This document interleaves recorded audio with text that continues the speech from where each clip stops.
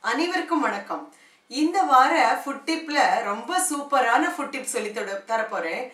பொதுவாகவே மாவு அரைச்சி வச்சு எல்லாத்துக்கும் தோசை வேணுமா? இல்லை இட்லி வேணுமான்னு கேட்டா தோசை வேணுங்கிற அந்த ஓட்டு தான் ரொம்ப அதிகமாக இருக்கும் எல்லாத்தோட வீட்லேயும். ஸோ தோசையில பல வகை இருக்கு. ஆனால் அந்த ரவா தோசை வந்து பிடிக்காதவங்களை யாருமே கிடையாது.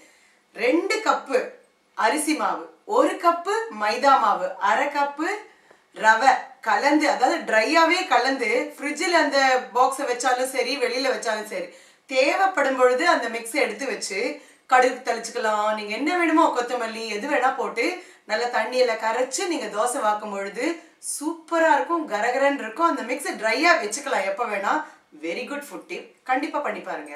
In this week's food tip, we're going to look at an easy way to prepare rava dosa whenever you want. So the best way to do this is to mix two cups of rice flour with one cup of plain flour and half cup of semolina, which is rava. And just mix the dry flour and you can store this in a container in a uh, cool dry place or even in the fridge. So whenever you want, whoever in the house wants to make rava dosa just has to mix it with water and you can ob- obviously add uh, anything to it like um, um, mustard seeds or onions and you just make the dosas. So it's really helpful, really useful tip. Do try it and enjoy.